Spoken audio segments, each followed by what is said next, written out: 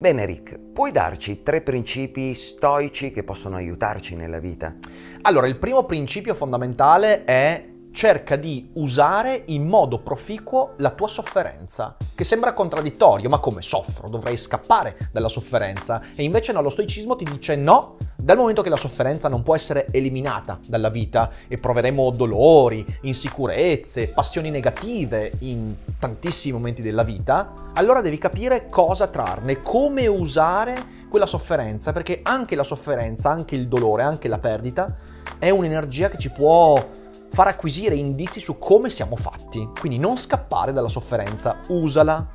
A questo si connette un secondo principio che secondo me oggi è molto molto importante. Nell'epoca in cui tutti si offendono sempre, lo stoico ti dice ricordati che nessuno può veramente ferirti, ma a ferirti è la tua disposizione a dare importanza al modo con cui gli altri cercano di ferirti. Quindi prendi controllo su ciò che ti triggera, direbbero i giovani oggi. Prendi il controllo su ciò che ti offende e chiediti perché questa cosa mi ferisce. Se riesci a chiedertelo, ti renderai conto che nessuno veramente può importi di sentirti ferito e tu puoi controllare meglio il modo in cui reagisci anche agli insulti, anche alle cose peggiori e lo stoico è uno che veramente prende il controllo delle offese altrui e degli insulti. Questo è meraviglioso e mi fa aggiungere un terzo principio che riunisce un po' i primi due, quello di responsabilità personale.